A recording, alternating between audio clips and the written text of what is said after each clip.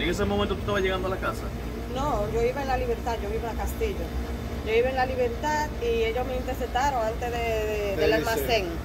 Antes del almacén, eh, en la libertad, y me interceptaron. En la misma esquina. Eh, no en la misma esquina del almacén, más para acá, del almacén, que hay antes de, de llegar al decirle a Pepín. Ellos me pararon y eh, incluso yo pensaba que era un conocido y miro y me dice, apégate.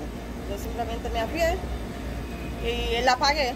La apagué la, la pasola y me desmonto con mi llave. Me dice, pero dame la llave. eh, me apuntó con la pistola, donde una vez eran dos, dos tipos en un Cristo negro.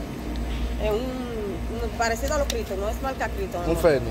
Ajá, un fénix. Repite en qué lugar fue, La libertad. Esquina. Antes de llegar al, al, al liceo de Estila Pepín. a qué hora. Aproximadamente. No, no, aproximadamente como 11, no sé. exactamente Ese momento que tú viviste, Urata, ese momento que tú viviste.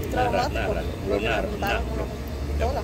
¿Mm? ¿Te apuntaron? Con una pistola. Entonces, que cuando tú llegaste aquí al cuartel, Cuando salió. yo llegué al cuartel, este, acompañada de otras personas, y el Tiquín hizo muy bien su trabajo. Ellos de una vez, eh, con el GPA de la pasola, comenzaron a rastrear, porque mi esposo de Nueva York me mandó la ubicación y toda la cosa, y ellos de una vez salieron y la recuperaron.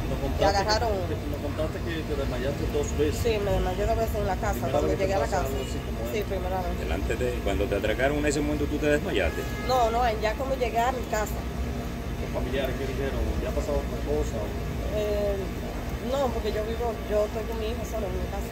Además mi de de- 15 años. Además de la pasola, ¿qué otra cosa te quitaron? un celular, me pegaban un celular en el cajón de la pasola, la cédula, la licencia de la pasola, eh, cédula de mi sobrino